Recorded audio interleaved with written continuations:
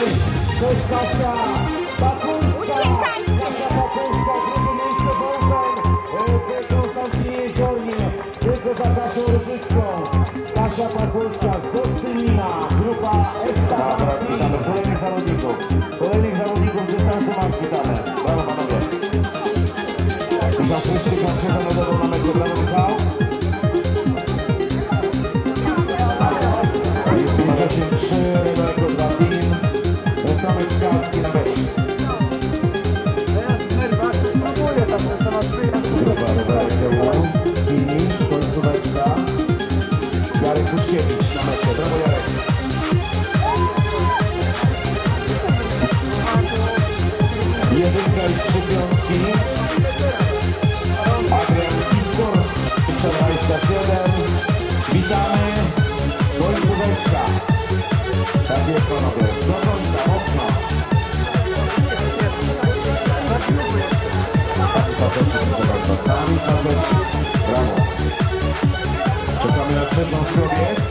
No i mamy trzecią z kobiet. Ula Lubolińska, tym razem trzecia. Coś musiało się zdarzyć na trasie. Ula Lubolińska, jak startowała, to wygrywała. A dzisiaj trzecia. A dzisiaj trzecia. Urszula Lubolińska.